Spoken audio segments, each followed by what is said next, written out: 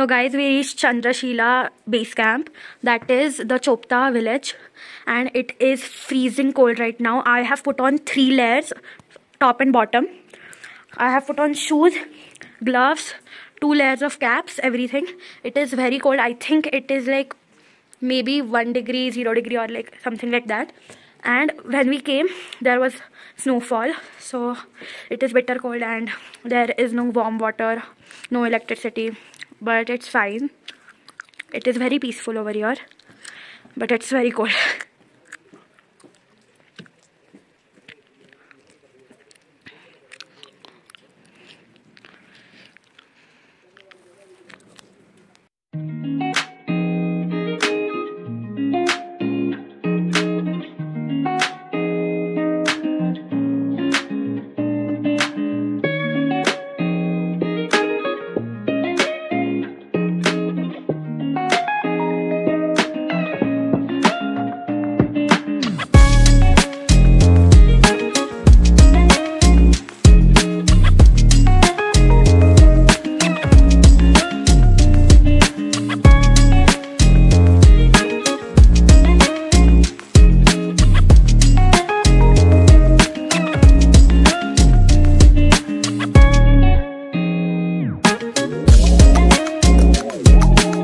guys, today is 2 April Sunday and yesterday I did not vlog. I was feeling terrible.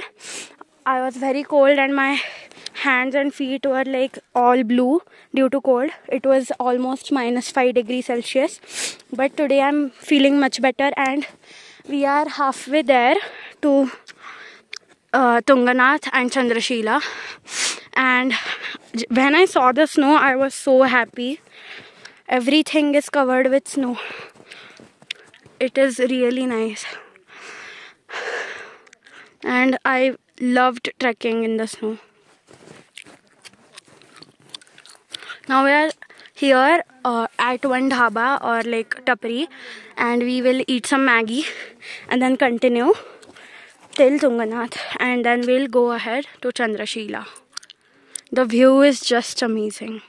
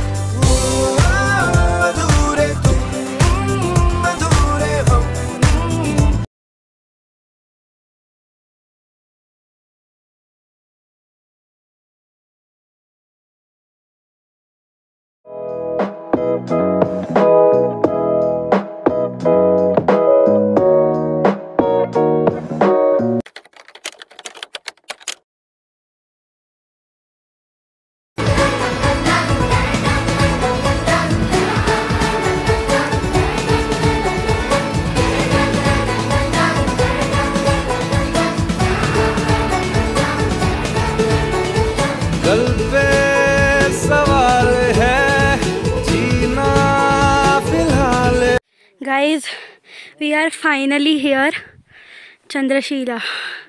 I am very happy that we made it. It is covered with snow, but we did it. Right now, the sun came out, so luckily, it is not that cold. And it was very hard to get up here because of this much snow. It was about 5 feet snow but we did it. And now we're gonna rest for 10 minutes and then get down. Very happy that we did it. I will never forget this experience. It was indeed hard but i did it. Yeah